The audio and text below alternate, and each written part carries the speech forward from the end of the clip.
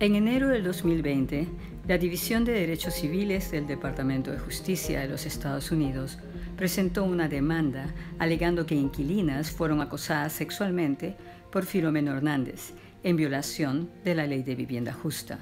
Este acoso incluye asalto sexual, contacto inapropiado y entrar a las casas de las inquilinas sin su consentimiento. Hernández es el administrador de propiedades en 729 South Bonnie Brae Street y 720 South Westlake Avenue en Los Ángeles, cerca del Parque MacArthur. Si alquiló un departamento o habitación a Filomeno Hernández y cree ser víctima de acoso sexual o tiene información, comuníquese con el Departamento de Justicia.